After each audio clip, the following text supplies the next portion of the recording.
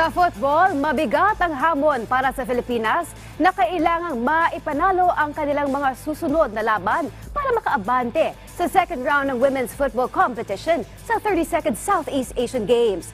Paano na nga ba ang goal ng National Women's Booters na makuha ang ikalawa nilang SEA Games medal? Alamin sa ulat ni Kay Asuncion. Kakailanganin ng Philippine Women's National Football Team na maipanalo ang dalawang huli nilang laban sa group stage ng 2023 Cambodia Southeast Asian Games. Ito ay para makuha ang second best spot at makaabante sa semifinals ng Nine Nation Competition. Susunod din ang makaharap ang world number 88 Malaysia at SEA Games defending champion at FIFA Women's World Cup bound team Vietnam.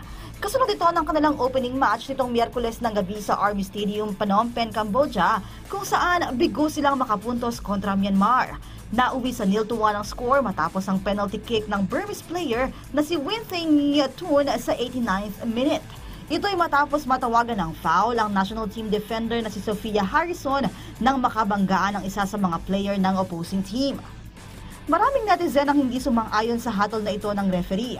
Pero para kay National Head Coach Alan Stajic, I don't have an opinion. The referee made the call. That's her job, and it's a penalty. It's simple.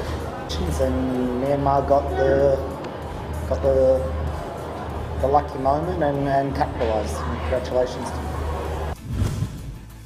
panalong ito ay resback ng Myanmar sa kanilang bronze medal duel kontra Pilipinas noong 31st SEA Games na naging dahilan ng kanilang fourth place finish.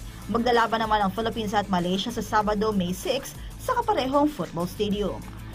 Kaya Asuncion, PTV Sport.